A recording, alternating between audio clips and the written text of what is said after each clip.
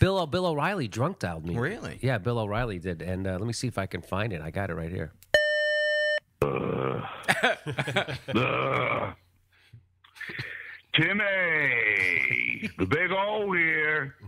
William Annan, Connor Mahoney, Fitzpatrick, Gilligan, Dolomite, Seamus O'Reilly. That's my name. No spin there.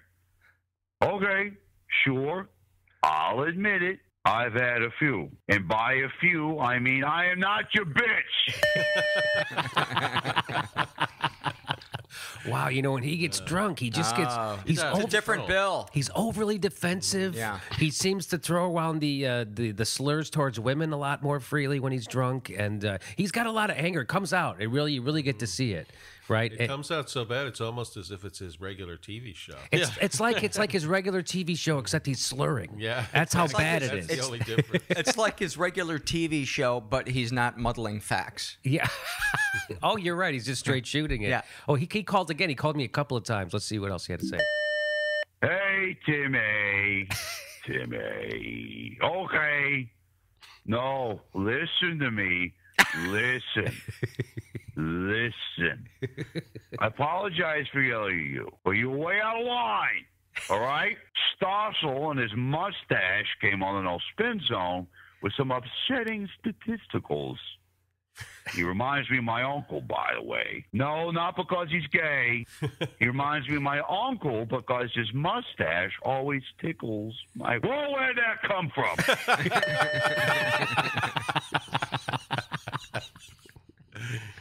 Bill, O- Bill O'Reilly's going through some stuff, I guess. Yes. He's going through a painful divorce, is what Yeah. I understand. Yeah, yeah. His wife is sleeping with a cop now, Nassau County Mm-hmm. Yeah. cop, and that's gotta hurt. It's gotta hurt. Um, he actually did call me. I wonder if he takes comfort in the knowledge that that cop is being paid by Jamie Dimon of Chase to uh, uh, beat, Oh. beat back uh, Occupy Wall Street protesters. and they're also yes, and you know, Bill O'Reilly also made a big donation to the Nassau County cops too. So yeah, that, sometimes money doesn't work in your favor. He called me a third time drunk. What? Yeah, I'm not kidding. Dore. Dore. Dore, door, door, door, door, door, door. Answer the phone, you arugula munching recovery hippie. For the love of St. Patrick from Hill of Slane, County Meath, west of Donegal. I know you're home.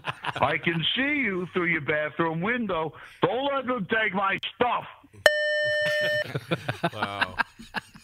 He's worried about people taking his stuff. He really is worried about people taking his stuff. That's what it is. That's why they're against the Occupy Wall Streeters, right? Absolutely. They're afraid of them taking their stuff. Don't take my stuff. It's By all about selfish greed. Yeah, by force they're going to take the stuff.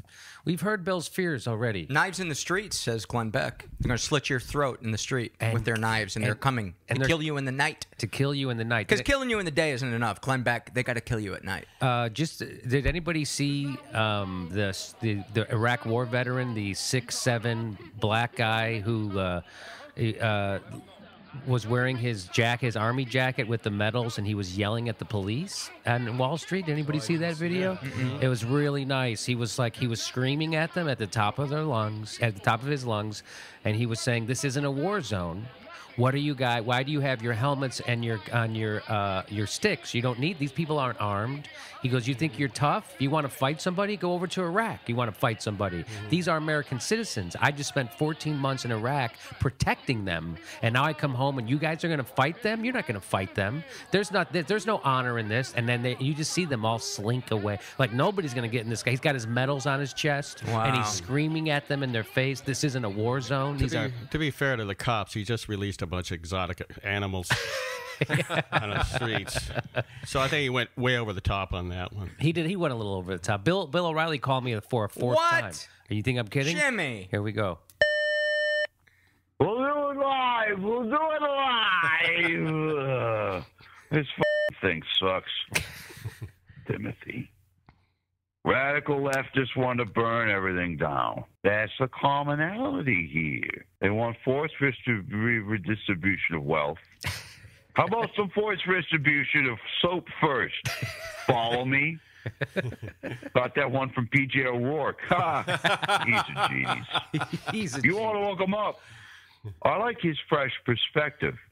These senior citizens, war vets, and teachers They're a bunch of dirty hippies and smooth skinned yippies who refuse to bathe with me. Women going without bras, braless, ergo, thusly, subsequently, as per your request, and in conclusion, perhaps they should all be swabbed down with my loofah. you got the last word, Jimmy. But first, and Poe.